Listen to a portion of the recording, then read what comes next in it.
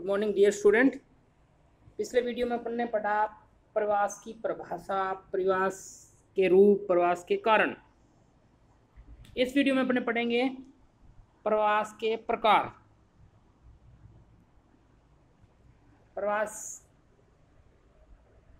से संबंधित विभिन्न लक्षणों के अनुसार प्रवास के अनेक वर्ग हो सकते हैं, या प्रवास को अनेक प्रकार से अपने कह सकते हैं कई भागों में बांटा जा सकता है। जैसे समय के अनुसार प्रवास प्रवास की अवधि के अनुसार प्रवास में भाग लेने वाले व्यक्तियों की संख्या, यानी प्रवासियों की संख्या के अनुसार प्रवास की प्रकृति एवं आधारों के आधार पर प्रवास को कई वर्गों में विभक्त किया जा सकता है। अब सर्वप्रथम देखते हैं कालानुसार प्रवास। कालानुसार चार रोगों में बांट सकते हैं। एक तो प्राग ऐतिहासिक जिसे लिखा ना गया हो। दूसरा, ऐतिहासिक प्रवास, जिसे लिखा गया हो। तीसरा, अवधि के आधार पर अपन बांटते हैं तो दीर्घकाल प्रवास हो सकता है, अल्पकालीन प्रवास हो सकता है, और दैनिक प्रवास हो सकता है, और मौसम के अनुसार हो सकता है। तो आप सर्वप्रथम देखते हैं, काल के अनुसार प्रवास का वर्गीकरण। मध्य एशिया से ये चित्र में दिखाया गया है, मध्य एशिया से किस प्रकार सर्वप्रथम सब तरफ़ प्रवास बढ़ा? प्रागैतिहासिक प्रवास। प्रागैतिक प्रवास मुख्यतः जलवायु परिवर्तन के कारण होते थे। पलिस्टेशन युग के हिम युगों और अंतर हिम युगों के कर्मिक आवागमन से जलवायु क्रमशः शीतल और गर्म हो जाती थी। भी हिम युग आया तो वहाँ सर्वत्र हिम पैदा हो जाती थी, जिससे वहाँ के लोग अन्यत्र दूसरे स्थान पर चले जाते थे।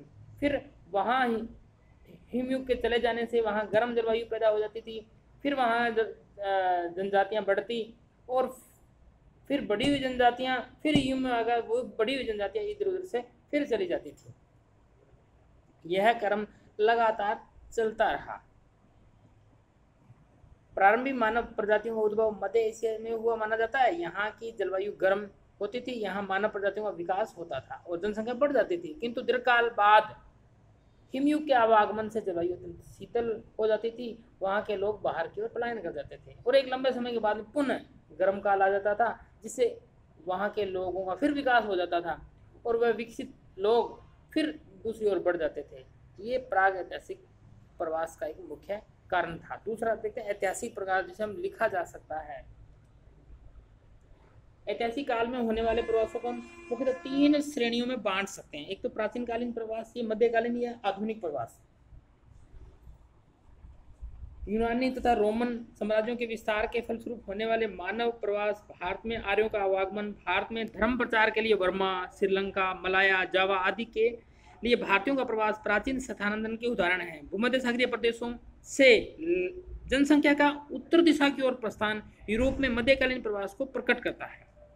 इसी प्रकार आधुनिक काल में होने वाले जनसंख्या प्रवासों में यूरोपीय प्रवास सर्वाधिक बृहत और शक्तिशाली माना जाता है। सत्रहवीं से उन्नीसवीं शताब्दी तक यूरोप के देशों में लाखों लोगों ने यूरोप और यूरोप से दक्षिणी, दक्षिण अमेरिका, दक्षिण अफ्रीका ऑस्ट्रेलिया एशिया के लिए प्रवास किए। अब बात करते हैं अवधि के अनुसार प्रवास के प्रकार। अवधि यानी कि काल के अनुसार ड्यूरेशन के समय। एक दीर्घकालीन प्रवास, जो लंबे काम प्र, लंबे प्रकार का हो दीर्घकालीन प्रवास शताब्दियों से होते आ रहे हैं।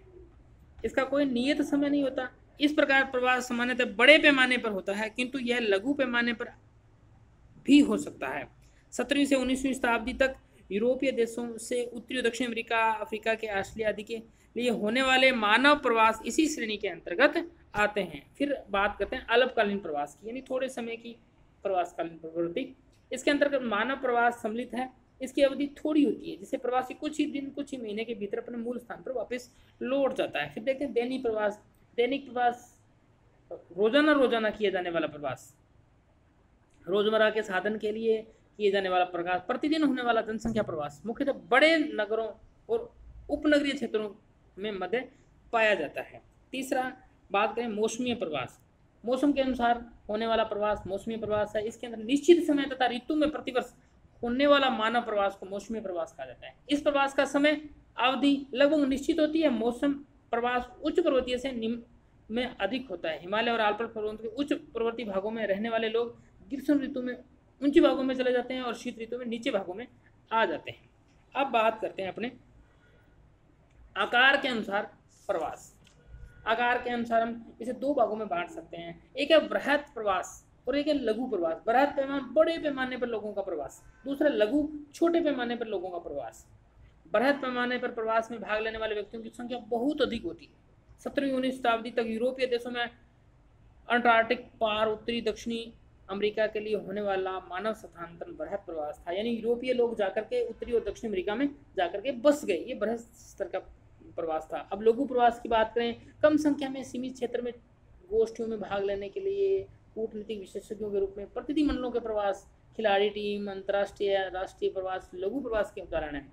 किसी विशेष कारण से कुछ ही परिवारों का प्रवास इसी श्रेणी के अंतर्गत आता है। अब बात करें क्षेत्र के अनुसार प्रवास।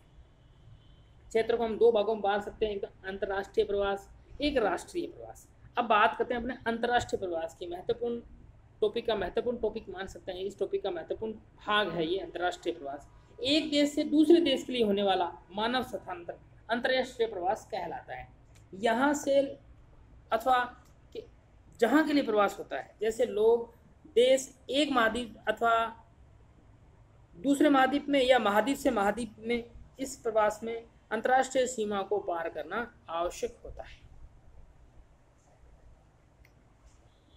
अंतर्राष्ट्रीय प्रवास वृहत संख्यक भी हो सकते हैं अल्पसंख्यक भी हो सकते हैं, ऐच्छिक भी हो सकते हैं, बलात् भी हो सकते हैं, स्थायी भी हो सकते हैं, अस्थायी भी हो सकते हैं। यह सांतरण, आर्थिक, सामाजिक, राजनीतिक किसी भी कारण हो सकता है। अंतर्राष्ट्रीय प्रवास में वृहत और स्थायी प्रवृत्ति के प्रवास का महत्व सर्वाधिक है, क्योंकि इसका प्रभाव दोनों देशों, स्वयं प्रवासी पर, व्यक्ति पर पड़ता है, गहरा होता है। इसके परिणाम स्वरूप नवीन संस्कृति का विकास होता है। अब मुख्य बात है अंतर्राष्ट्रीय प्रवास को प्रभावित करने वाले कारक। इसके मुख्य चार कारक इसको मान के चल सकते हैं। एक है भौतिक कारक, फिर आर्थिक कारक, सामाजिक कारक, या फिर राजनीतिक कारक। बात करते हैं हम भौतिक कारकों की। भौतिक कारकों में जलवायु महत्वपूर्ण स्थान रखता है। प्रागैतिक मानव स्थानांतरण प्राय भौतिक कारणों से होते थे, जैसे जलवायु परिवर्तन जिसका सब सर्वाधिक शक्तिशाली कारण ऐतिहासिक काल में प्राकृतिक आपदाओं के कारण अंतर्राष्ट्रीय स्थानांतरण के अनेक उदाहरण बोले हैं। प्र, प्रवास कटिबंध सिद्धांत के प्रतिपादक ग्रिथिक टेलर के अनुसार विश्व की समस्त मानव प्रजातियों का विकास मध्य एशिया में अलग अलग कालों में हुआ है। इसी प्रकार वर्तमान काल में प्राकृतिक आपदाओं जैसे भूकंप ज्वालामुखी उद्गार बाढ़ सूखा आदि के कारण भी अंतर्राष्ट्रीय प्रवास बहुत कम होते हैं क्योंकि सरकारी नियंत्रण के कारण लोग अंतर्राष्ट्रीय सीमाओं को नहीं लांघते। किंतु अनेक बार ऐसा देखा गया है कि भयंकर तथा जानलेवा विपत्तियों में बड़ी संख्या में लोग अपने देश से भागकर पड़ोसी देशों में समय के लिए शरण लेते हैं और वापस पुनः अपने स्वदेश लौट जाते हैं। अब बात देखते हैं आर्थिक कारणों की। आर्थिक प्रवास के दो मुख्य कारण हैं। पहला, आर्थिक आकर्षण। दूसरा, आर्थिक कठिनाई। जिन देशों में जनसंख्या वृद्धि और आर्थिक संसाधनों की कमी से जीवन स्तर में गिरावट आने लगती है और विभिन्न आर्थिक कठिनाइयाँ उत्पन्न होती है, वहाँ के बहुत से लोग ऐसे देशों तथा प्रदेशों में जाने के इच्छुक एवं तत्पर होते हैं, जहाँ जलवायु, कृषि, भूमि, खनिज पदार्थ आदि के रूप में प्राप्त आर्थिक संसाधन उपलब्ध होते हैं। राजनीतिक प्रतिबंध के अभाव में कम आर्थिक संसाधन वाले प्रदेश से अधिक आर्थिक संसाधन वाले प्रदेश के लिए मानव प्रवास की धारा चलने लगती है। आर्थिक कारणों से उत्पन्न अंतर्राष्ट्रीय प्रवास का सर्वोत्तम उदाहरण यूरोप से उत्तरी एवं दक्षिण अमेरिका है। आर्थिक कारणों से उत्पन्न अंतर्राष्ट्रीय प्रवास का उत्कृष्ट उदाहरण यूरोप से उत्तरी और दक्षिण अमेरिका की ओर तथा यूरोप से ही अन्य देशों के लिए स्थानांतरण को माना जा सकता है। सत्रहवीं और अठारहवीं शताब्दी के पश्चिमी यूरोपीय देशों में आर्थिक संसाधन विकसित हो चुके थे और जनसंख्या अधिक हो गई थी, जिससे संसाधन कम पड़ने लगे और आर्थिक कठिनाई के बढ़ती जा रही और जीवन स्तर गिरने लगा। कोलंबस द्वारा नई दुनिया का पता लगाने के लिए के बाद यूरोप में अटलांटिक पार उत्तरी तथा दक्षिणी अमेरिका के लिए जनसंख्या प्रवास प्रारंभ हुआ। इसका मुख्य कारण यही विद्यमान विस्तृत कृषि भूमि, खनिज पदार्थों, शक्ति के संसाधनों की प्राप्त उपलब्धि थी।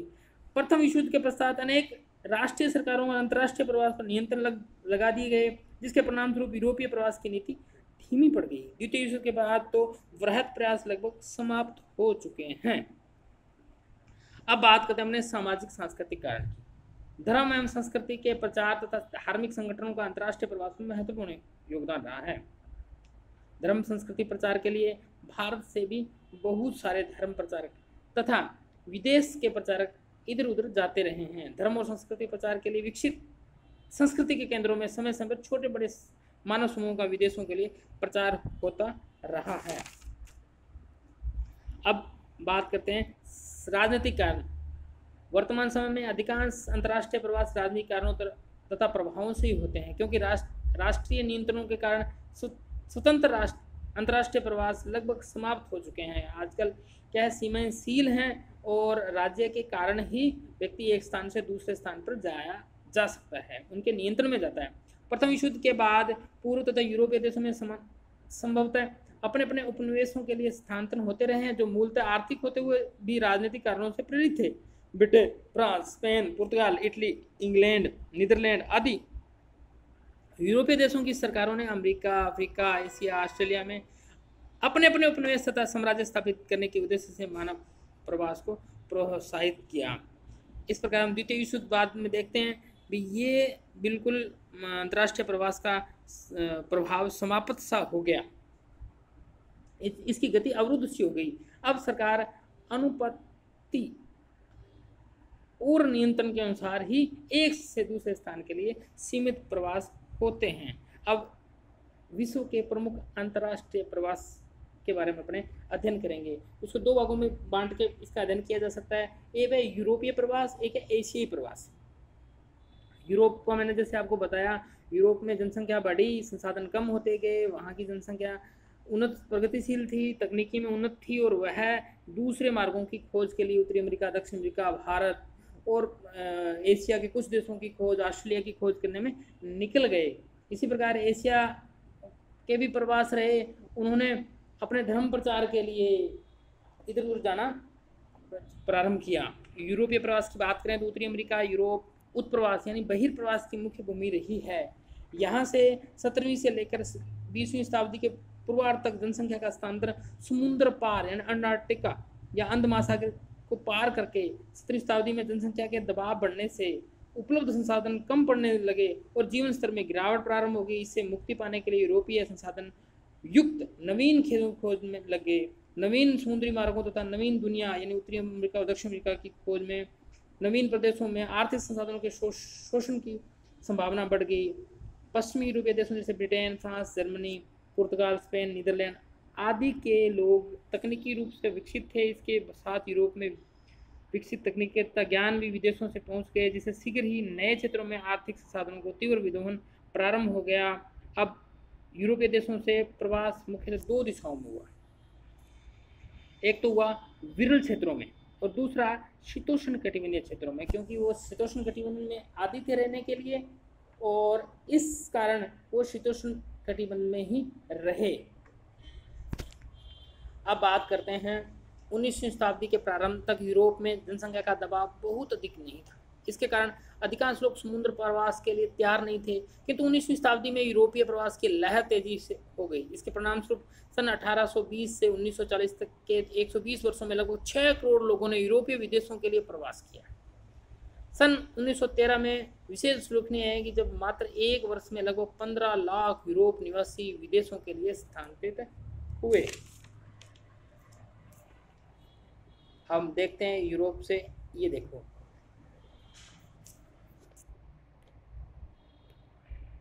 ये कोलंबस ने खोज की, उत्तरी अमेरिका की, फिर दोबारा गया तो यहाँ इसको मार दिया गया था कोलंबस को। इसका नामकरण वेस्पुसी के नाम पे रखा गया। यहाँ लेटिन अमेरिका की खोज की गई। यूरोपीय लोगों ने अर्जेंटाइना की खोज की और बहुत सारे प्रयास कर करके इस मार्ग को खोजा गया। और बहुत सारे नाविकों ने इस भाग को खोजने के बाद में भारत की खोज की चौदह में, वास्को डिमा काम में हुए। क्योंकि मैंने पूर्व में भी आपको बताया कि यूरोप से यूरोप से जब ये जाते थे तो यहाँ उष्ण कटिबंध क्षेत्र आता है। इस उष्ण कटिबंधीय क्षेत्र के अंदर उमस वाला वातावरण रहता है तो अंग्रेज़ लोग यहाँ मर जाया करते थे। वो दो ही जगह पे गए, एक तो विरल भूमि पे गए, दूसरा शीतोष्ण कटिबंध के अंतर्गत गए। लेकिन यहाँ उष्ण बीच में आने के कारण यहाँ यूरोपीय लोगों मर जाते थे। इस कारण इस क्षेत्र को गोरों की कबर कहा जाता है। गिन्नी का जो तट है, ये गिन्नी पड़ती है यहाँ, गिन्नी की खाड़ी है। गिन्नी की खाड़ी या गिन्नी के तट को क्या कहा जाता है? गोरों की कब्र कहा जाता है। फिर ये इस मार्ग से होते हुए उन्होंने भारत की खोज की, जेम्स कुक ने ऑस्ट्रेलिया की खोज की। इसी प्रकार यहाँ से मैगलन निकल करके पहला नाविक बना, जो पूरे विश्व का चक्कर लगाने वाला नाविक बना। इस प्रकार यूरोपीय लोगों ने विभिन्न देशों की खोजें की। अब बात करते हैं अपने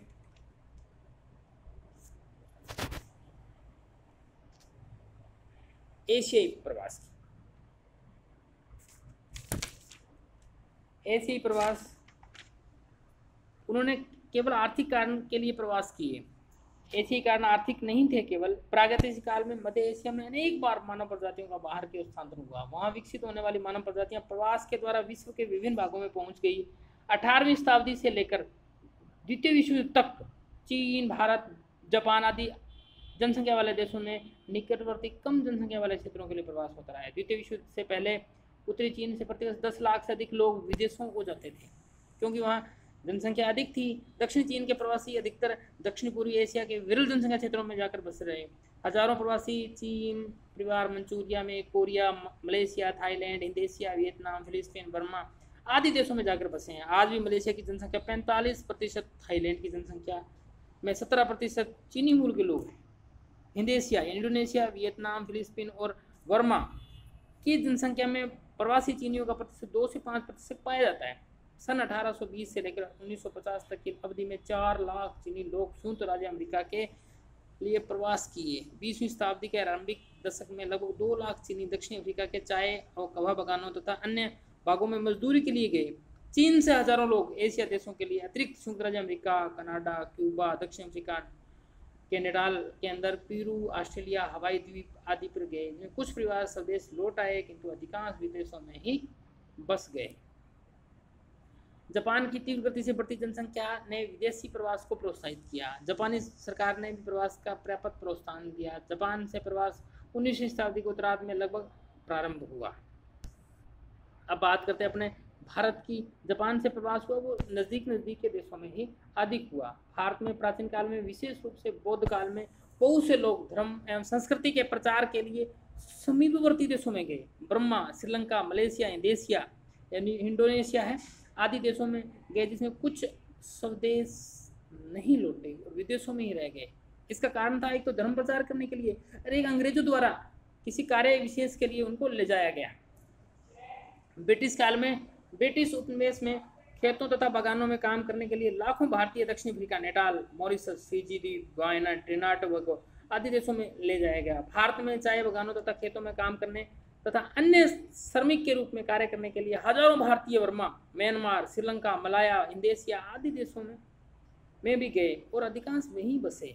आज लगभग पचास लाख प्रवासी भारतीय विदेशों में सन उन्नीस सौ सैंतालीस में भारत पाक विभाजन के परिणाम स्वरूप लगभग एक करोड़ हिंदू पाकिस्तान से भारत आए और तीन करोड़ से अधिक मुसलमान भारत से पाकिस्तान गए। स्वतंत्रता पश्चात पश्चात स्थायी विदेशी प्रवास लगभग अवरुद्ध है और केवल कूटनीतिक दलों शिष्टमंडलों वैज्ञानिक सलाहकारों, खिलाड़ियों आदि के लिए प्रवास सीमित संख्या और सीमित समय के लिए ही होते हैं। इनकी प्रकृति पूर्णतः अस्थायी है। तो आज हम इस वीडियो में प्रवास के बारे में पढ़ा। अब पढ़ेंगे प्रवास का एक और अंत, अंतर्देशीय है आंतरिक प्रवास। अगले वीडियो में पढ़ेंगे। धन्यवाद।